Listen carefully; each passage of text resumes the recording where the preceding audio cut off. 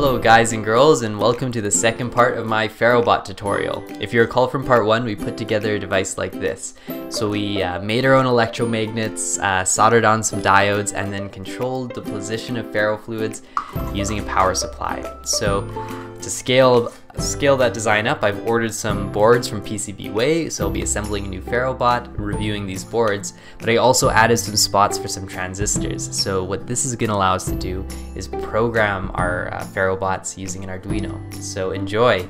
For starters, I soldered my electromagnets to my PCB. I forgot to include the holes in my Gerber file to hold the electromagnets, so I had to drill them myself.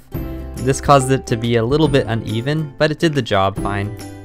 Following the electromagnets, I soldered on my Schottky diodes.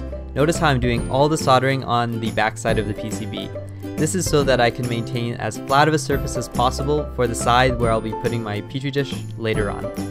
Next, I soldered on my transistors. You'll notice I'm using all N-channel MOSFETs here, and the ones connected to the positive side of the electromagnets don't have to be in a pull-up configuration. That's because the voltage drop across the electromagnets is so small that both sides are practically referencing ground.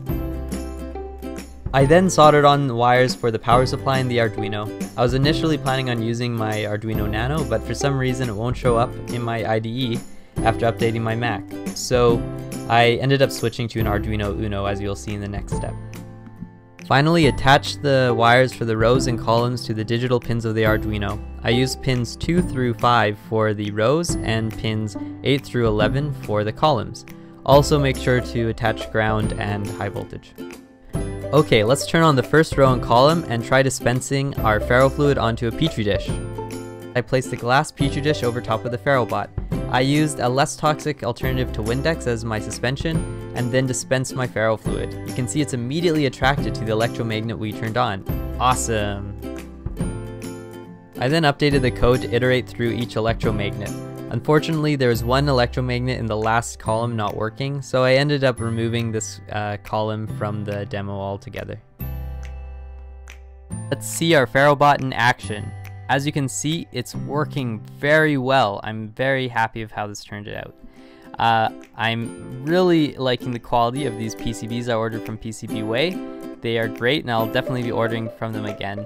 With this design, I was way below the specs for my traces. I fixed that in my next version, but as you can see, uh, things are holding up.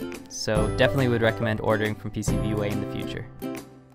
Alright, so that concludes this week's video. Thank you so much for tuning in, and come again next week if you'd like to learn how to control the Ferrobot using Microdrop 3. Microdrop 3 is a software application I've been developing for Ryan and Christian Fobel at Sci-Bots to control their Dropbot platform. Alright, stay tuned and see you next week.